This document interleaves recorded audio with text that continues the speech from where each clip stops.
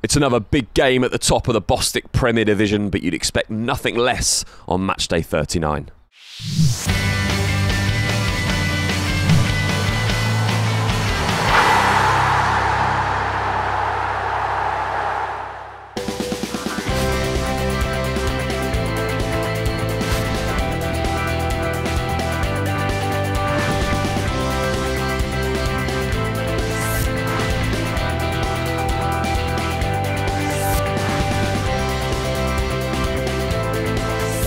Been a difficult week for the Hamlet with turmoil off the pitch jeopardising their home at Champion Hill and their 125 year history. On Tuesday night, they travelled to league leaders and out of form Billericay side to battle it out for first place.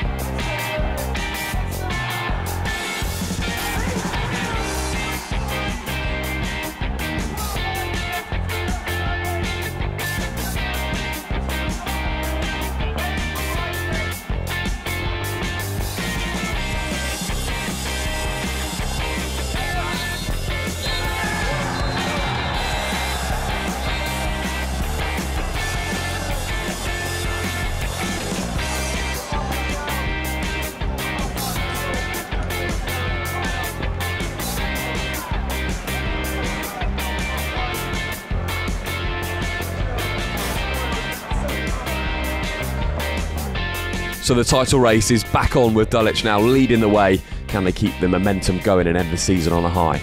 Last time we saw them, they were the comeback kings, overturning a three goal deficit to draw 3 all with Hendon with an equaliser at the death. Won't be an easy job today, though. This may be Brightlingsea first season in the division, but they've settled in well and produced some fantastic moments, including a stunning free kick from Jake Turner against Folkestone. Can they cause an upset today?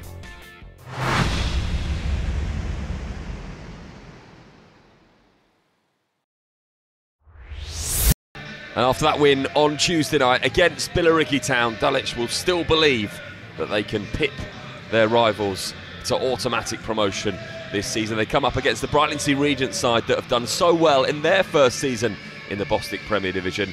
Billy Hunt with 19 goals for them so far this campaign. As for Dulwich, Reise Allassani has 14 to his name. It's going to be a difficult game for Dulwich. They say there are no easy games in the division, and certainly when you get to this stage of the season, everybody vying for points, and Gavin Rose knows that his team still have a chance of avoiding those playoffs. Brightlingsea on the attack straight away in front of a really good crowd here this afternoon. You'd expect nothing less with the Hamlet involved, but it's Brightlingsea have got the first opportunity in the game. Can they cause this Dulwich defence problems? They might do now, the header's gone over, and you have to say that Terry Amass got himself into a really good position, just couldn't guide that header down. Long, high ball over for Green to chase. Nathan Green likes to get forward, takes the ball down, ball stays in, goes cross, and it's a poor clearance in the end. It's going to fall to Dulwich on the edge of the box. What can they do? The shot comes in, and Clunis, who's managed 12 so far in the league this season, had a shot from the edge of the box, never troubling Bradbrook in the Brightlingsea goal.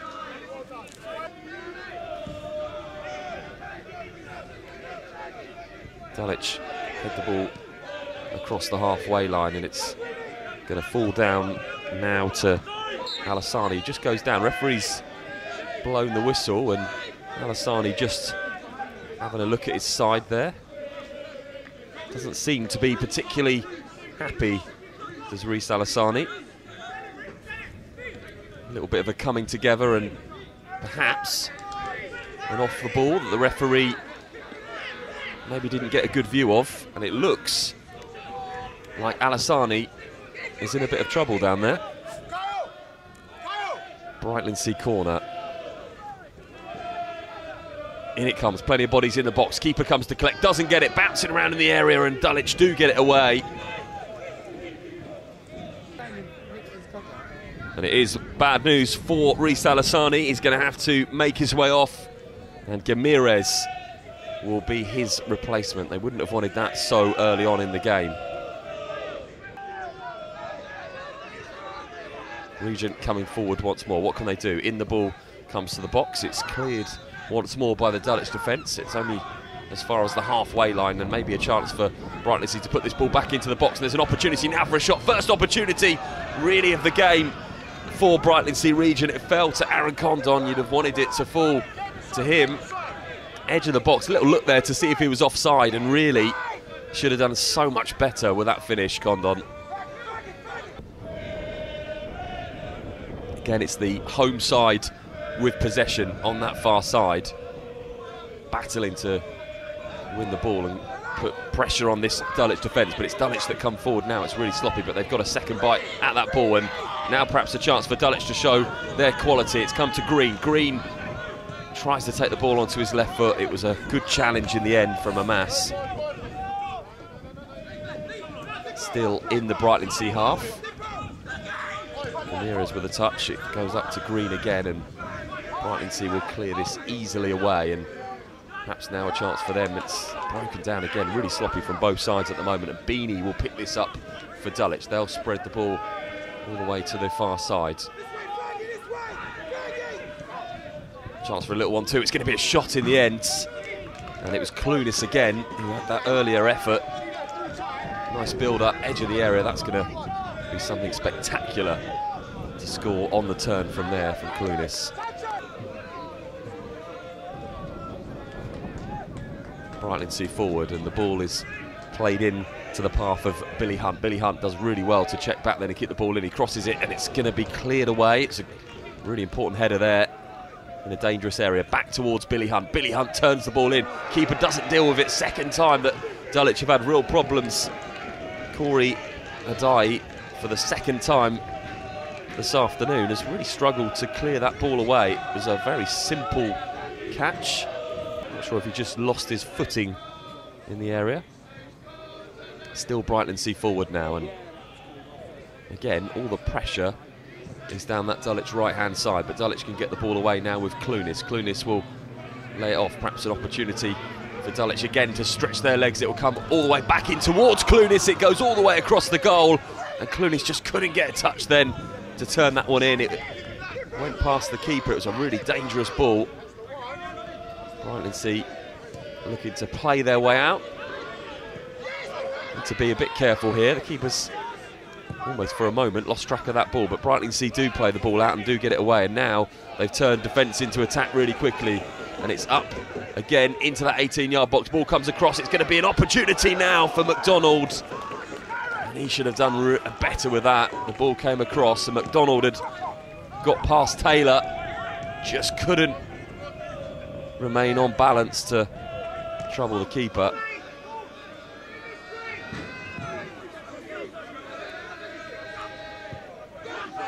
Again, this ball bouncing around in the Dulwich half, but Dulwich do manage to get it away, and perhaps an opportunity now for them as Gamiras comes forward. What can he do? Gamiras with a shot. Gamiras all the way across. Brilliant finish by the substitute. And it goes into the bottom corner, and Dulwich do have the lead. Plenty of chances for both sides early on in this game. And it was the substitute, Gamiras, who picked up the ball, and a low driving shot has put the visitors ahead. Beanie initially flicked the ball on. Gamiras picked it up. He still had a lot to do. Edge of the box, right footed, and drove the ball into the bottom corner. And it's Dulwich, fresh from that big victory on Tuesday night, who take the lead here. Superb finish. 1 0 to the visitors.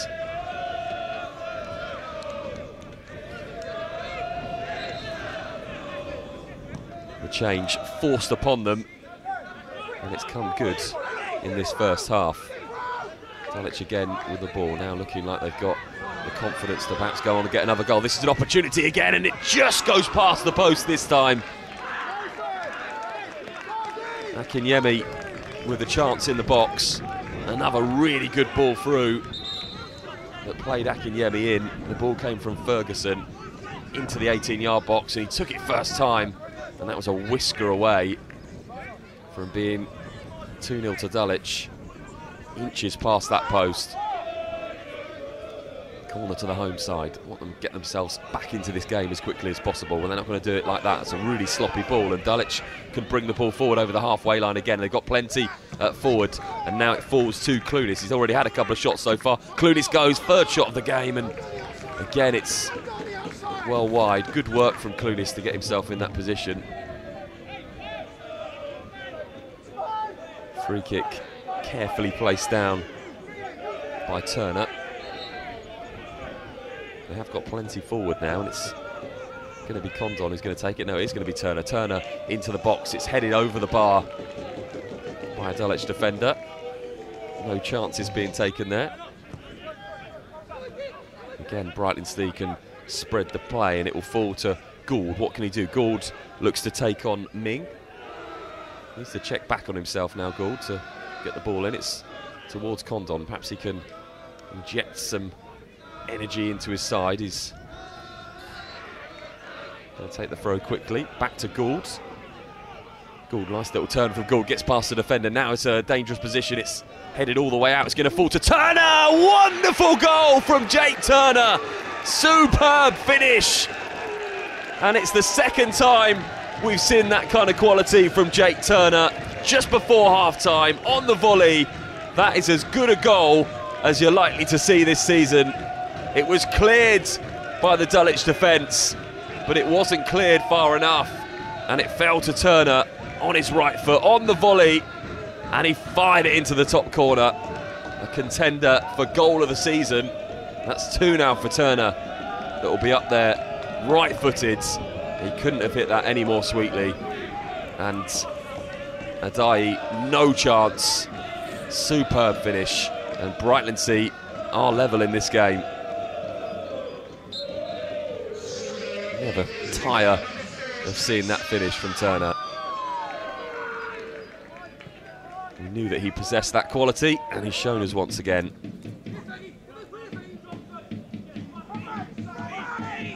The sun has appeared in this second half, and Dulwich will certainly hope that the game can finish brightly for them as they chase automatic promotion. But it's Brightlingsea that come forward now, and the ball is at the feet of Hunt, and he just couldn't get that ball really where he wanted it.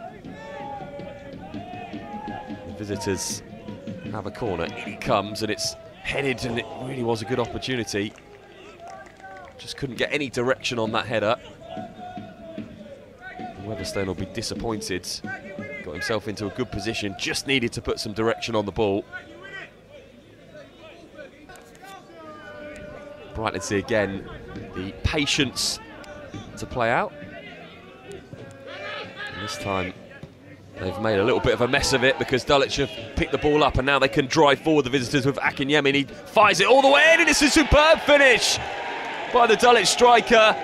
And Akinyemi has punished Brightlingsea Regent. It was a really poor ball out to this near side. And they put themselves in all sorts of trouble as Akinyemi picked up the ball and made the most of it. They've been playing out all game, Brightlingsea, and they just didn't get that one right. Gould with a touch that was poor, and Akinyemi drove forward on his left foot. There were so many bodies around him, but he just managed to guide it into the bottom corner. And you have to say, a really good finish by the Dulwich man. There was not a lot of room there. One place that that ball could go. The keeper was obstructed with so many bodies. And he found the post and the corner of the net. And Dulwich are back in front in this game. Can they finish the game off, Dulwich? Ball on this near side and looking to cause more problems with Ming. Ming does really well onto his right foot. Ming all the way across, drives it across, and it's cleared by James Love. It was an important touch. It's still with Dulwich, though, on the edge of the 18 yard box. What can they do? Clunis checks onto his right foot. Lovely skill from Clunis, just taking his time. He lifts that ball up again. It's headed away by Brightlingsea, but Dulwich keeping the pressure on and really important that Brightlingsea just calm themselves down, keep themselves in this game. Way by Dulwich and picked up by the home side. Again, it's lofted in and Dulwich do well to defend it. Plenty of bodies forward for Brightlingsea. Missed touch there from Clousey that's allowed Dulwich to come forward once more, but Brightlingsea will pick it up again.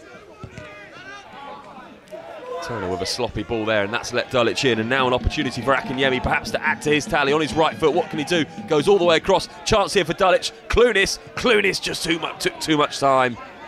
Really needed to hit that first time. And it gave Brighton Brightlingsea the opportunity just to get that ball away. Still with Dulwich. Really good play down that far side. Chance to get the cross in. Left footed, comes in too close to the keeper. Did all the hard work to get the cross in. Still the home sides come forward. In it goes to the box. It's headed away. Really good header up towards the halfway line. Dulwich can bring this ball away. And again, on the far side, can come forward. Over the halfway line they go. Clunis is making the run. What can they do?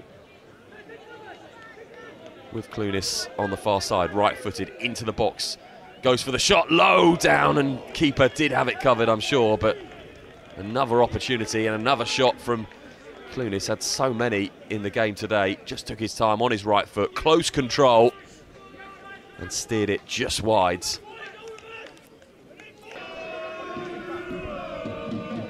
Ball comes towards the 18 yard box. Dulwich defending it well another opportunity to get it in this time Gould and it's found its way into Condon and he just tries to guide the ball towards the goal. Time running out for Regent if they're going to get themselves back into this game and Dulwich still causing problems. Great skill on that far side from Green. Green keeps possession. That I'm sure Dulwich will want to do to see out this game. Plenty of games in hand for Billericay, but all you can do as a Dulwich Hamlet player is win the games and see what happens. They maybe have another opportunity now, and it comes all the way across. It's going to be put in, but the linesman's flag is up, and Akinyemi, for a moment there, thought that he'd added to his tally this afternoon. Good finish on his right foot. He wouldn't have known the flag had gone up, but just offside from Akinyemi. Relief for Brighton Brightlingsea. high up again towards this Brightlingsea front line. Real urgency now as it falls down to Billy Hunt and now they need his goals right now to get themselves back into this game. It goes all the way across and Jake Gould had got himself into the box there. Those are coming together and Jake Gould went down. He really looked quite soft and the referee not interested.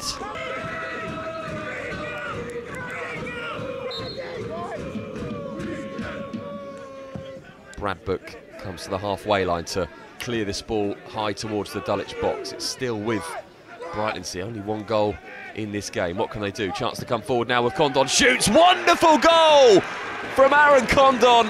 What a strike from the edge of the box. Low into the corner. And Corey Addai for the second time in this game. Absolutely no chance with that one. And you'll be hard pressed to pick which one of the Brightlingsea goals this afternoon was the better. Another superb finish. And it was Condon who just picked the ball up all of 30 yards out, left footed, and a wonderful strike into the bottom corner. That is as good as they come from Aaron Condon. Keeper, no chance, right in the corner. And on any other occasion, it would be the goal of the game. But we've had two incredible strikes from Brightlingsea players, and they are level, two apiece here.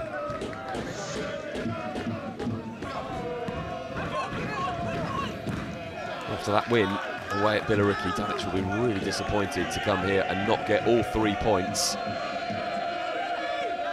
Need all the points that they can get to close the gap, and they're not going to get all three points this afternoon because two wonderful finishes from those Brightlingsea players have levelled things up. They went behind twice, but they pulled it back. Frustrating for Dulwich, but they take a point here at Brightlingsea. You would say a point better than none on the roads, but ground lost again on a Billericay team who have games in hand. And as for Brightlingsea, they thoroughly deserved their points. It's finished here. Brightlingsea Regent 2, Dulwich Hamlet 2. I thought uh, first half we were excellent. Second half, I think the goal when it came and in the manner of how it come, put us on the back foot a bit, uh, knocked us for about five or ten. But to be fair to the lads, we changed the shape three times today just to try and deal with what Dulwich are doing and just try to get back in the game, and it's worked. So you know, two great goals. I don't think you're going to see, especially the first goal. It's unbelievable hit. Yeah, we never lost. That's the positive way to look at it. Um, I think they've had two shots on goal and scored two goals. Both shots very good. Um, so credit to them for that. But for us, we've had uh, plenty of opportunity. We should have um, put the game to bed a lot earlier. We haven't, and um, I think we would have been better, f- probably 15 points this season if we had done that in during the course of the season. So. For me, it's quite frustrating. Uh, I think players need to really um, analyse themselves, uh, not only in the good performances and the bad performances. I think that's where you learn the all. Fair enough. And obviously, losing your striker, Reese, in the first five minutes, that didn't help at all, really. I think it was a little bit of a gamble on our part. Um, we knew that he obviously had had a bad injury on Tuesday night. Um, he felt good. uh, it was a gamble. Always want to be uh, positive. We feel that at the end of the day with Reese, if he had got through and maybe not got that collision, he's, he's, he's worth a goal. So we took the risk. Um, but even the, the, young boy who comes on, he, he, he does well, comes on and scores a goal. So that was quite positive anyway. We've been on a bad run. We've lost five on the bounce, which is never easy. It's easy then for players to just sort of turn up with their heads down, especially when you're playing the league leaders. You know, Dulwich are obviously a good club, brilliant, brilliant side. So the easy thing today for the boys would have been to just turn up and just roll over, basically. And I just said at the start of the game, it's massively important for us. I think our biggest strength as a club is our work ethic, our, our, togetherness, you know, and the fact that we're a team, and you know, and we had to do that today to match Dulwich. We had to outwork them, you know, and, and just try and keep ourselves in the game, be disciplined, and I thought we did that. I thought, you know, I'm sure Dulwich will possibly say that maybe they wanted more or deserved more, but I don't think they did actually. I thought on the balance of the first half, we deserved to be at least level, even though the goal was an absolute worldie. And I thought on the balance of the second half, they they probably did have the better of it, but you know, we, we stuck in there and, and got a result. So it isn't always that easy. I know the points, uh, you know, should say that you should win, but it isn't that cut and dry at this level.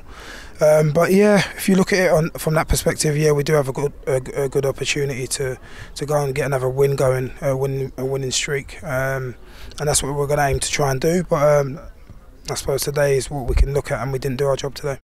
Congratulations, Josh. I made you my Bostik man of the match today for a great captain's performance and leadership at the back there. Yeah, thank you. Yeah, um, well, I'll be missing our skipper at the moment. Um, so we patched up, patched off pick at the back. We changed the formation to suit the players that we have available. Um, and I've, I've, stepped in and um, struggling myself um, previously before the game. Had to pass the fitness test, but but yeah, just pleased for the team. Hard, hard work and uh, great performance. Have you played at this level, and how long have you been at Brightlingsea? Never played at this level now. Um, come through the leagues with Brightlingsea. Um, I've been. It's my second spell. I think it's my fifth year back. And I'm five years when I was a youngster and come back and and continue to grow the club.